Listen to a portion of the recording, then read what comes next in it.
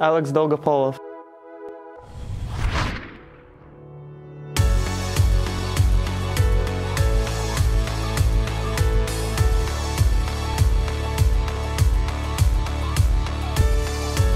Probably, probably the breakthrough when I when I played my first quarterfinals in Australian Open. I was like ranked 50, and it was a, a big thing for me.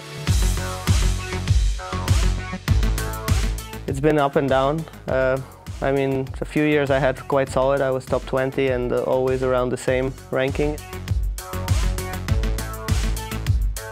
Then uh, last year I fell out to out of the top 50, so it's uh, it's been fun coming back, and uh, that was uh, some extra motivation for me to to prepare well and uh, to come back stronger. I, I like to enjoy it, and I hope I can play for many more years. It depends on your mood, you know. Sometimes you just want to have fun and watch a guy on the court or or someone who has fun. Someone sometimes you, you want to see how uh, how Rafa and Djokovic fight each other. It, it, I mean, it depends from the day. Physically, I was I was quite prepared because I I didn't go early after injury. I didn't rush uh, to play as soon as I could, so uh, I was uh, I was feeling fine.